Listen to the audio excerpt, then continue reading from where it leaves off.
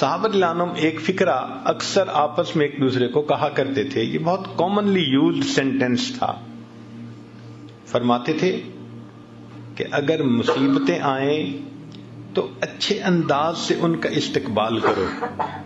जैसे मेहमान का इस्तकबाल करते हो ना, अल्लाह अगर ऐसे हालात भेजे तो उन हालात का भी खुशी से इस्तकबाल करो। और अल्लाह ताला अगर नेमतों से नवाजे तो आजजी से उन नेमतों का इस्तकबाल करो। क्यों? कि ये मुसीबतें आती हैं, बस औकात हमारे लिए फ़ायदेमंद बनकर। वो कैसे? कि इंसान गाफिल हो जाता है, भूल जाता है अपने परवरदिगार को।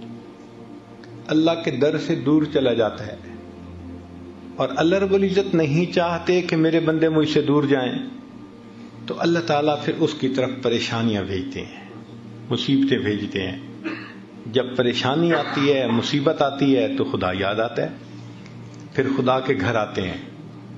कारोबार में ऊंच नीच हो जाए, जो पाँच नमाजें भी नहीं पढ़ता था, वो अब बैठा हुआ तहजद भी पढ़ रहा है।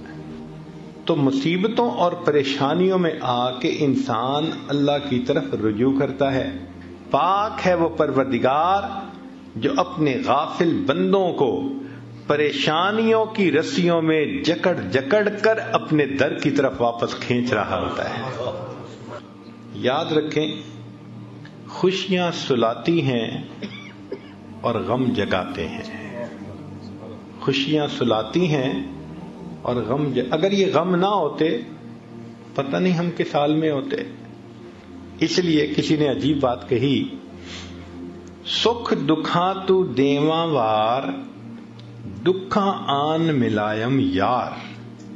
मैं इन सुखों को दुखों पे कुर्बान कर दूँ, इन दुखों ने मुझे मेरे यार से मिला दिया।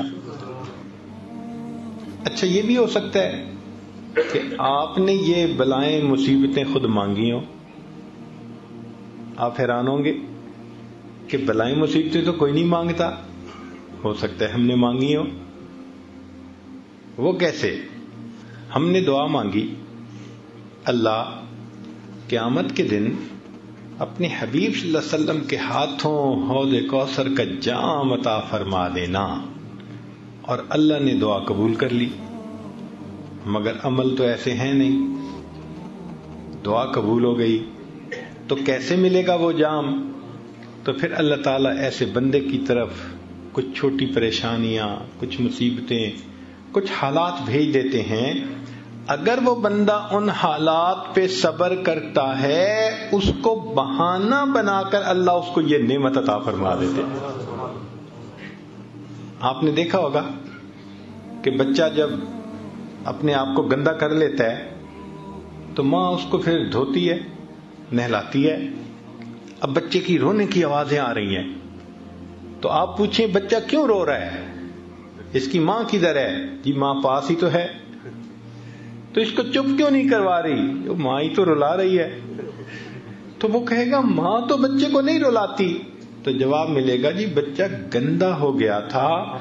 वो इसको धो के, इसको मोहब्बत की वजह से गंदा नहीं देख सकती। वो इसको धो के साफ़ सुथरा करके सीने से लगाना चाहती है।